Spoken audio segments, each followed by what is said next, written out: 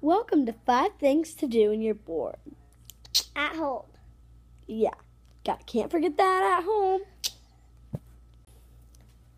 Number one, you jump on your trampoline. Duh. Please ignore the puzzle. Keep jumping.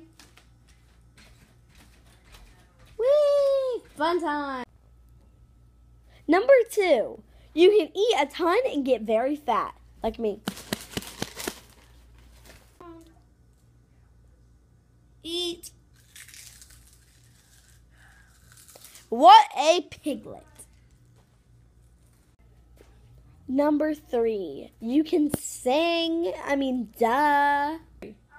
If I were a boy. You got that right, girl, ladies and gents. This girl's a boy. Number four, you can play with your kitty. Eh?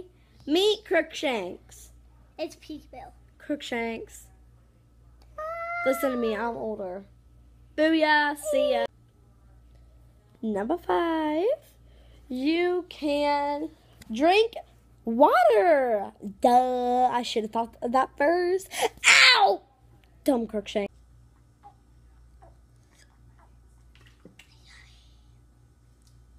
Crookshank. Water. Thanks for listening. All Yeah. our subscribers, we owe you like a million bucks, but I don't have a million bucks, so we can't pay you a million bucks. You're awesome. But yeah, you're awesome for watching, all of you, and I love You're you all. And you better subscribe, comment, and like. And if you do a thumbs down, I'm gonna find out who it is. And Cause I, well, it's not gonna be her Fisty. because it's not gonna be her because I'm really good at karate and fighting. You do not. you've never taken a karate lesson Well, still, I'm good, and um, you do not want to see my bad side. whatever. Nope. Liar. She doesn't take karate, and she never has. You speak to them. She's never taken karate.